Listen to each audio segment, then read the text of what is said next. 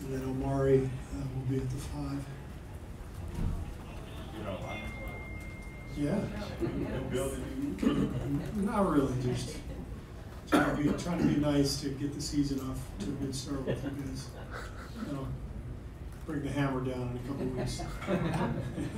You had the practice yesterday, guys have been shooting, I assume, a little bit. Any sense about the way the court's playing, or anything you noticed that's quirky or different?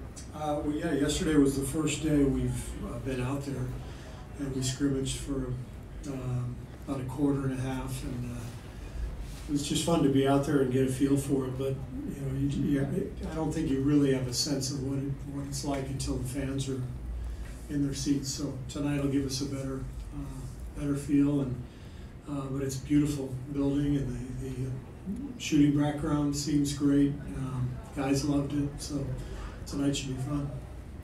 Draymond kind of talked yesterday about like the, the tedious nature of practice that he's not used to, you know, because you guys are having to stop it and talk to the young guys. Tough do you think this has been for the vets who do come into camp knowing the system, but kind of have to sit there and watch you guys coach the guys?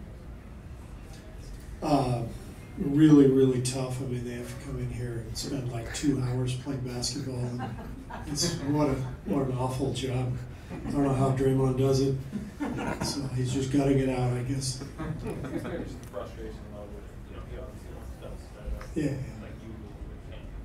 Yeah, but this is more normal though for training camp. You know, this is more the rule than. Uh,